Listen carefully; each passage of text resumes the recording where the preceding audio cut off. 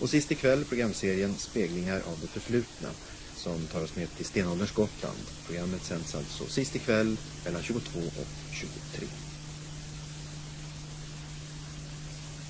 I Rapport om en kvart. Vem ska vakta landets prominenser? Säpo eller den vanliga polisen? Nu bråkar de om det. Sverige måste gå med i EG, annars försvinner 5 000 jobb från Sandviken, det säger Sandviks chef idag. Och ryggont botas inte alls med vila, det säger läkarna på läkarstämman.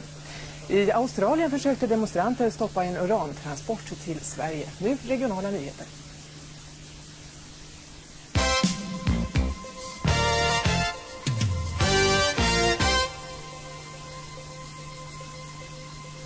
God kväll, här är Tvärsnytt onsdag. Sigvard Marjasin är inte välkommen som ny landshövding i Örebro län. Den salvan avlossar socialdemokratiska kommunalrådet Sven-Ove Sederstrand i Kumla idag. Idag bekräftar också civildepartementet att Marjasin kommer att utses till landshövding imorgon. Men det kan komma att blåsa snåla vindar kring den omstridde ordföranden i kommunalarbetareförbundet när han flyttar in i Örebro slott nästa år. Och Marjasin eh, hade jag trott i alla fall att han eh, med all rätt får sin pension om ett halvår och borde säga, vara nöjd att han har gjort sitt livsverk och inte starta om från början igen. Det blir ju lite konstigt att det är en pensionär som ska sköta länets frågor under en sexårsperiod här. Det känns fel på något sätt.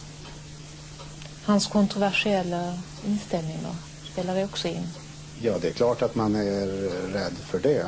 Att, eh, det, det är ju som sagt var sånt som man bara har följt genom tidningar och tv, hans sätt att jobba. Och det passar inte, tror jag, ett län där man måste samarbeta om de flesta frågorna.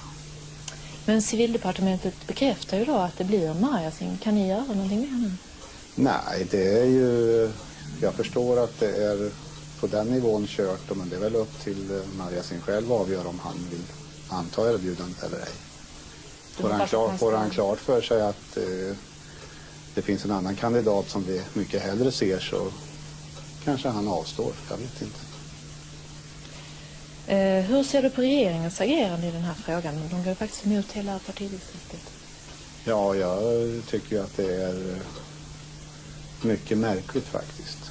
Eftersom vi för någon vecka sedan fick en indikation på att det fanns ingen annan kandidat än Ingmar Carlsson. Så då är det ju ganska underligt att det här plötsligt vill dyka upp. Sigvard Marjasin själv säger till Tvärsnytt ikväll klart jag kommer när nu regeringen visar mig detta förtroende. Han har inga som helst planer på att tacka nej till landshövdingeposten och protesterna i Örebro län vill han ännu inte kommentera. Reporter det var Maria Månsson. Pappersbruket i Deje i Värmland ska läggas ner. Det beslöt styrelsen i ägarbolaget Deje Industri idag. 40 anställda förlorar sina jobb när pappersbruket läggs ner i mars nästa år. På 70-talet hade pappersbruket i Deje omkring 500 anställda. Ägarna till de mögelskadade husen i Fagersta förlorade rättegången mot HSB. Villaägarna hade krävt ersättning med 100 000 kronor per hus men det får de inte. Tingsrätten i Sala beslöt idag att sex husägare ska få dela på knappt 13 000 för förstörda mattor. I övrigt friades HSB och husägarna ska ersätta rättegångskostnaderna med 65 000. Efter nyår ska villaägarna besluta om de ska överklaga domen. Örebro kommun sålde tryckcentralen alldeles för billigt i fjol. Det slog regeringsrätten fast idag. Det var A-pressen där socialdemokratiska Örebro-Kuriren ingår som fick köpa tryckcentralen till underpris. Men regeringsrättens dom idag får ingen praktisk betydelse. Kommunalrådet Mats Sjöström säger att köpet inte går tillbaka. Däremot ska rutinerna för liknande affärer ses över. Facket på B&W stormarknad i Örebro är mycket kritiskt till de utökade öppettiderna på varuhuset nästa år. Företagsledningen har bland annat bestämt att B&Ws varuhus ska ha öppet på första maj. Att människor inte hinner handla på dagtid har B&W stormarknader tagit fasta på. De har öppet sent på kvällarna och på helgerna. De senaste åren har de också haft öppet på helgdagar som nyårsdagen, påskdagen och midsommardagen. Från och med nästa år har ledningen för B&W bestämt att ha öppet längre på helgerna. Dessutom även på första maj. Och det är någonting som fackklubben på BOV starkt motsätter sig. Vi är absolut inte glada för att det första maj öppethållande det är vi ju naturligtvis mycket starka motståndare till. Att detta är ju ändå arbetarnas helgdag eh, internationellt och då måste man på BOV frågasätta som personal varför måste just BOV ha öppet första maj när man kan ha stängt över all annanstans på jorden. Företagsledningen anser dock att lönsamheten ska komma i första hand. Även om de förstår missnöjet med att arbetarnas helgdag ska tas bort.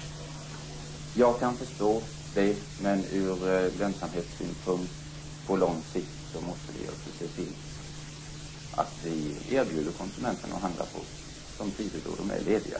Och det är många som är lediga första maj. Sverker Olsson menar också att god lönsamhet för företaget kommer de anställda till godo. Fackordföranden håller delvis med. Naturligtvis vill vi gärna se att det går bra för personalen. Det är ju ändå företaget vi försörjer oss på genom vårt arbete. Men att gå ut och öka öppethållandet år efter år, det gör ju bara det att man driver upp öppethållandet totalt i samtliga typer av varuhus och stormarknader i hela Sverige. Och det kan vi inte se som meningsfullt. Utan våra svenska medborgare har så pass ledig tid så att man borde kunna handla när butikerna öppnar på ett vettigt sätt. Vintillverkning i Mälardalen, det kan det bli sedan Västerås kommun har ställt sig positiv till att två privatpersoner startar vintillverkning på Hässlö utanför Västerås. Tanken är att importera frusna druvor och sen tillverka vinet av dem på Hässlö. I början av detta sekel donerades Lundinska huset i Sala till kommunen. Mindre bemedlade kvinnor skulle få bo där gratis. Nu behöver huset renoveras. Socialnämnden tycker att det blir för dyrt och vill sälja huset. Och de som bor i Lundinska huset är mycket oroliga över vad som nu kan komma att hända. I statuterna för donationen står att man måste vara ogift eller änka, inte frånskild eller ha varit gift med utlänning för att få erhålla lägenhet i Lundinska huset. Man måste också vara medlem i Svenska kyrkan och ha bott i Sala i minst 20 år. Socialnämnden har så gott det går försökt följa de ursprungliga reglerna i testamentet från makarna Lundin. Och i över 50 år har nu husets 13 lägenheter om vardera ett rum och kök upplåtits hyresfritt till kvinnor i Sala. Lägenheterna börjar nu bli omoderna och socialnämnden tycker det kostar för mycket pengar att hålla det här huset och vill sälja. Beslut tas imorgon. Ett besked som chockat kvinnorna som nu bor i huset och som gärna kan tänka sig att betala en hyra bara man får bo kvar. Jag bryr mig inte om att om, om man har betalat att vi, vi bor vi gratis. Men det kan man ju...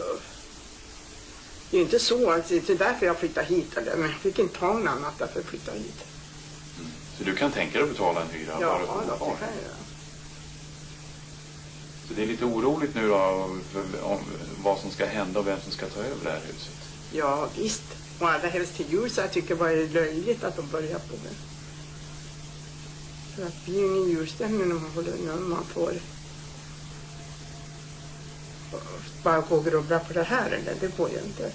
För då är vi ju iväg, att de ska få iväg oss. Det är därför som de håller på och krånglar sig. Men ja, vad, vad tänker du göra då om de envisas då? Men ja, jag bor kvar i alla fall och envisas. Men jag flyttar inte till Kaplanen och jag flyttar inte till Jakobsberg om de har inbillat sig det, att det är lätt att bli av med mig. Men det gör jag inte. Jakobsberg, vad är det? Det är, jag, det är ett ålderdomshem. Inte trivs jag där när jag har min frihet. Nej, det gör jag inte.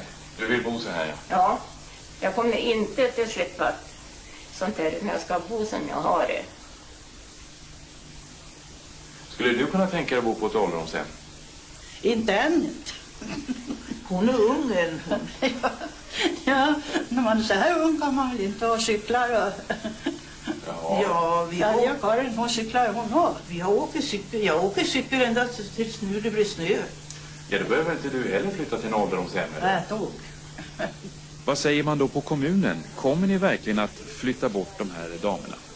Det är inget sagt någonting om det. Och det finns ju inget beslut än om de ska sälja huset heller. Man kan ju återta det förslaget. Så det kan alltså hända att eh, socialnämnden nu omprövar? Det kan hända att det blir annat, ja. Och som sagt, det är alltså imorgon som socialnämnden i Sala avgör om hyresgästerna får bo kvar. Och nu blir det bandy. Mästarlaget Baltic från Karlstad har fått en olycklig start i årets bandyallsvenska med två förluster på två matcher. Ikväll möter Baltic förra årets finalmotståndare Vetlanda som leder allsvenskans södergrupp. Det är bara åtta månader sedan Baltic tog sitt åttonde SM-tecken. Tio raka finaler gör Baltic från Karlstad till 80-talets lag i svensk bandy. Men efter förlust först mot Örebro som i fjol var nära att ramla ur allsvenskan och sen mot nykomlingen Borgia frågar sig många vad som hänt med mästarlaget. Vi tycker kanske inte att vi gör så mycket fel heller. Utan vi försöker väl att jobba på de gamla spåren. Och vi vet ju att det kommer att vända. Kanske att det inte vänder på en eller två matcher nu men om en, två veckor så är vi bra igen. Redan under försäsongen visade Baltic svagheter. I Europacupen i Sovjet tappade man två gånger 2-0-ledningar i andra halvlek. Här i matchen mot landslaget gjorde man en godkänd första halvlek men orkade inte stå emot i andra. Och tendensen har varit densamma hittills i allsvenskan. Försvarsspelet har sviktat och koncentrationen har inte räckt i 90 minuter. Man har en känsla av att både spelare och ledare kanske tycker att det här ordnar sig i slutändan ändå. Men de facto eh, är det så och det har alltid varit så att det gör det inte. Någon comeback för Pinnen Ranström, numera ledare, är inte aktuell. Däremot blir det ett annat och enklare spel mot Vetlanda. Ja, vi kommer att försöka att spela med ett större tålamod. Vi ska inte spela så tvingande. Vi ska försöka spela över något större ytor, inte gå upp där det är som allra mest med folk. Tror du att ni vinner eh, matchen mot Vetlanda? Det hoppas jag, men jag törs inte lova någonting eftersom Vetlanda för närvarande är Sveriges bästa lag. Vinner vi så måste vi å andra sidan vara Sveriges bästa lag från att ha varit Sveriges sämsta.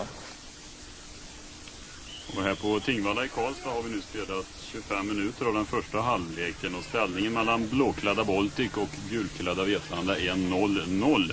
Det är faktiskt Baltic som har börjat bäst här. De har spelat den där lite enklare bandyn som Peder Emanuelsson förespråkade. Vetlanda har skapat väldigt lite. Eh, just nu Vetlanda dock i anfall men där kan Baltic reda upp det och spel på mittfältet här. Eh, det här är ju en repris på SM-finalen från i fjol. Och det är Vetlanda som har revansch och fodrar här. 5-2 vann Baltic med då.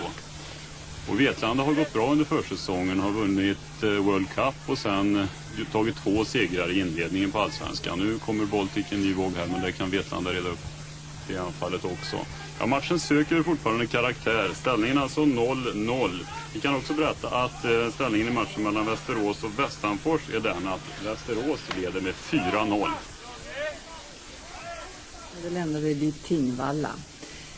Den eh, tredje kandidaten till titeln Tvärsnytts idrottsprofil 1988 det är också en kille som utövar vintersport.